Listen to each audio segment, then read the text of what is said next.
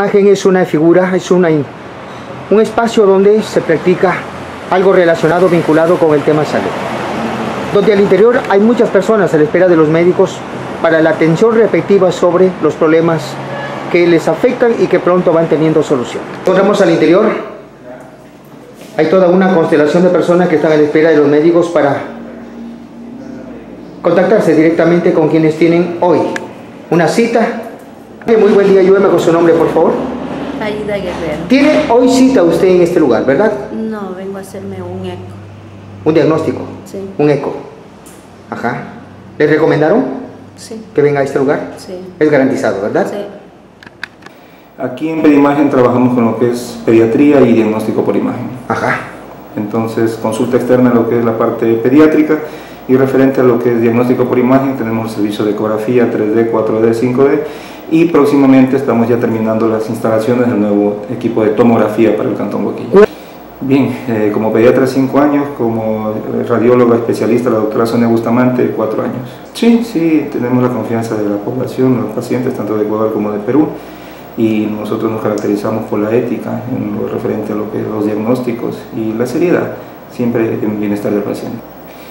Bueno, eh, los precios son asequibles, acorde a la especialidad. Obviamente, eh, las consultas sobre los estudios ecográficos en la ciudad de Machala son de valores mucho más elevados en lo referente al cantón Guaquillas.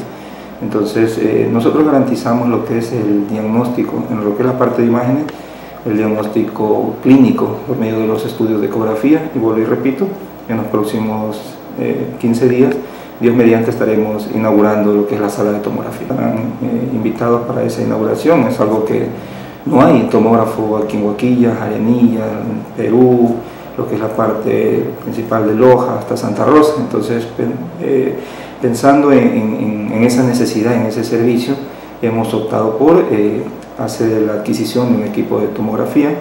Eh, vamos a dar estudios tomográficos simples, contrastados.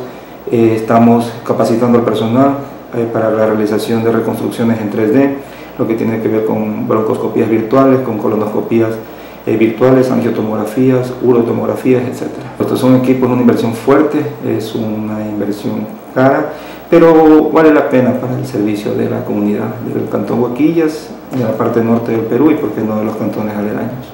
Somos de Huaquillas, yo soy nacido en Huaquillas, yo creo en Huaquillas, invierto en Huaquillas. Entonces, ¿por qué no eh, hacer este tipo de inversiones fuertes para brindar eh, servicio a la comunidad del cantón?